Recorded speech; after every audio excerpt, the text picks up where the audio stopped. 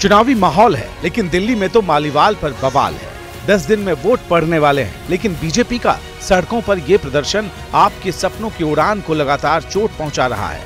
आप सांसद और दिल्ली महिला आयोग की पूर्व अध्यक्ष स्वाति मालीवाल से सीएम आवास पर हुई बदसलूकी पर बीजेपी ने आज जोरदार प्रदर्शन किया। सैकड़ों की संख्या में जो बीजेपी की महिला कार्यकर्ता हैं वो जुटी हुई हैं। अरविंद केजरीवाल के आवास से थोड़ी दूर पर कुछ महिलाओं से हम बात करने की कोशिश करेंगे। किस लिए किस लिए किस लिए आप लोग यहाँ पर इकट्ठा हुए हैं प्रदर्शन? महिलाओं के सम्मान के लिए।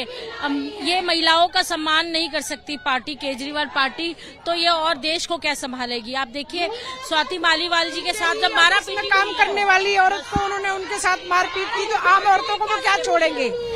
इससे पहले कल आपके वरिष्ठ नेता संजय सिंह ने सीएम आवास पर स्वाति मालीवाल से बदसलूकी की बात मानी थी। अरविंद केजरीवाल जी से मिलने स्वाति मालीवाल जी उनके आवास पर पहुँची थी। विभव कुमार जी वहाँ पर पहुँचे, उनके साथ अभद्रता और बदतमीजी की। दिल्ली के मुख्यमंत्री जी ने संज्ञान में लिया है, वो इस मामले में सख्त कार्रवाई करेंगे। एक तरफ़ संजय सिंह, सीएम केजरीवाल के पीए विभव कुमार के खिलाफ कार्रवाई की बात कर रहे हैं तो दूसरी तरफ़ बीजेपी एक्शन में देरी पर सवाल उठा रही। बीजेपी के निशाने पर कोई और नहीं, सीधे केजरीवाल है। स्वाति मालीवाल, उसके साथ मुख्यमंत्री आवास में अभद्रता की जाती है, मारपीट की जाती है।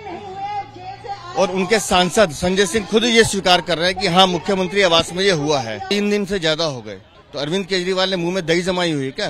कार्रवाई करने में क्या समय लगता है? इस बीच दिल्ली पुलिस भी इस केस में एक्टिव हो गई है। दिल्ली पुलिस ने स्वाति मालीवाल से संपर्क करने की कोशिश की है। एबीपी न्यूज़ को सूत्रों से जो जानकारी मिली है उसके मुताबिक स्वाति मालीवाल न तो अपने आवास पर मौजूद थी और न ही अपने करीबी रिश्तेदार के घर। केजरीवाल को प्रचार के लिए बिल मिलने के बाद जोश से भरी आप पर स्वाति मालीवाल का मुद्दा भारी पड़ता नज़र आ रहा है। बीजेपी को बैठे बिठाए मुद्दा मिल गया और अब ये मुद्दा चुनाव तक शांत नहीं होता दिख रहा।